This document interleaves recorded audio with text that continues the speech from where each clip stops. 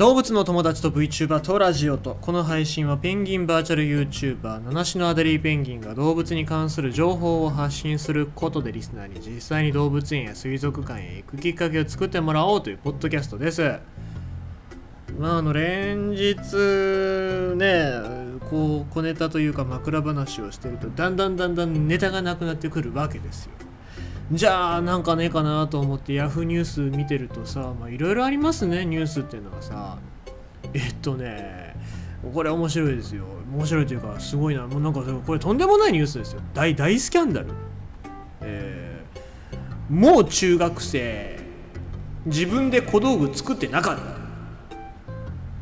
でゴーストライター、まあ、その作ってた小道具作ってた人から弁護士を交えて訴えられてるっていうね。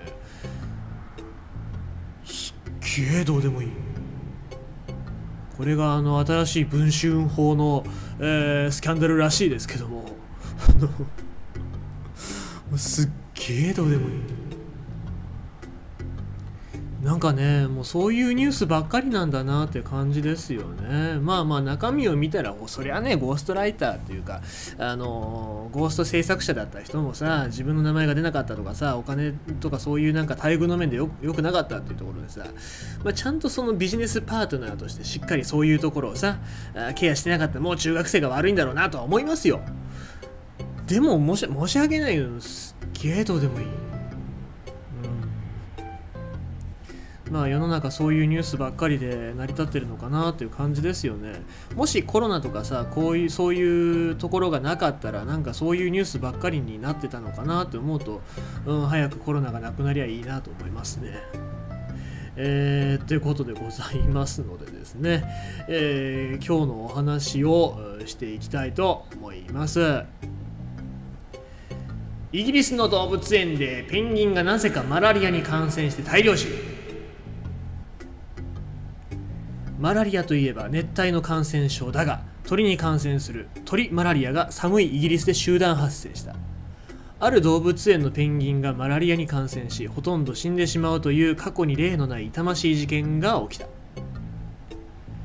イギリスデイリー・テレグラフによるとイギリス中部のバーミンガム付近のダドリーにある動物園では69羽のペンギンのうち約50羽が死亡した。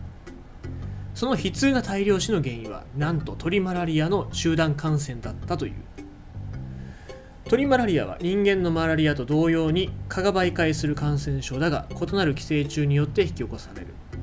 人間に感染するマラリア原虫は熱帯地域にいるが鳥、え鳥類に感染するマラリア原虫はより広い地域に生息し多くの地域で発生する。またスズメ目の鳥では感染しても発症せず、えー、致死病にならずに済む種の鳥も多いがこの病気に対して抵抗力を持たないペンギンは特に脆弱だ。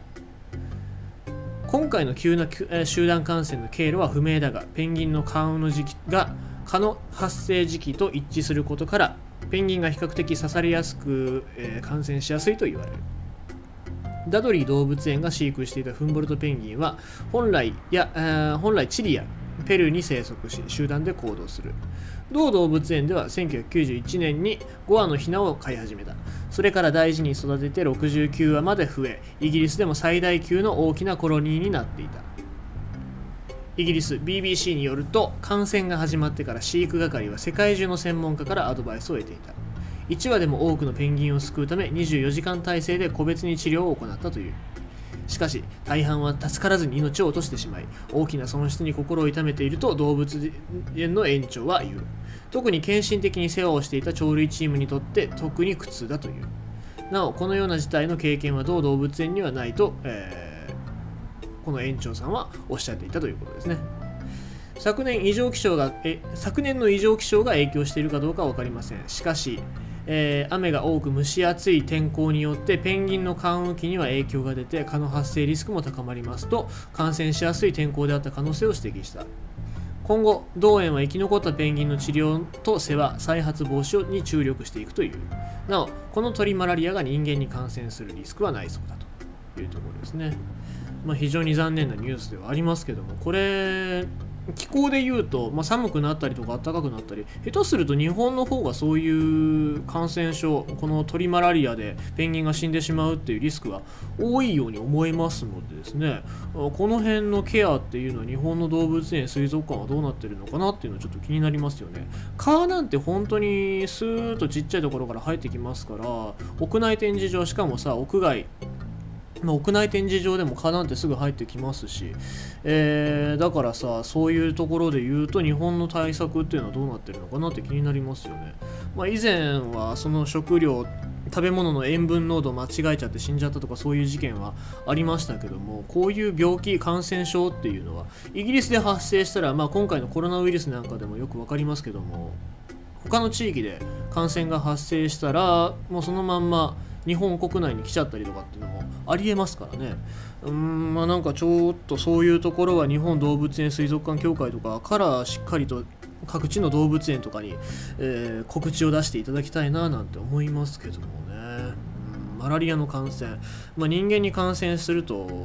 あれですけども、まあ、戦争中なんかっていうのが非常に南方の地域で感染して死んじゃった人なんていうのはたくさんいますけどもねペンギンもそういうマラリアっていうのがあるんだっていうのを初めて知りましたし、まあ、ペンギンには気をつけてよって言っても、まあ、ペンギンはペチンってかつぶしたりとかできるわけじゃないですからね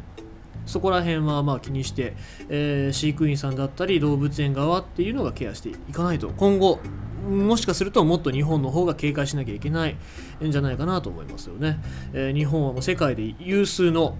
もペンギンの繁殖地域でございますからね、え、そんなことで、え、ペンギンたちが死んでしまっては元も子もないのでしっかりとした対策をしていただきたいと思います。ということでございまして今日のニュースはイギリスの動物園でペンギンがなぜかマラリアに感染して大量死。ということでございました。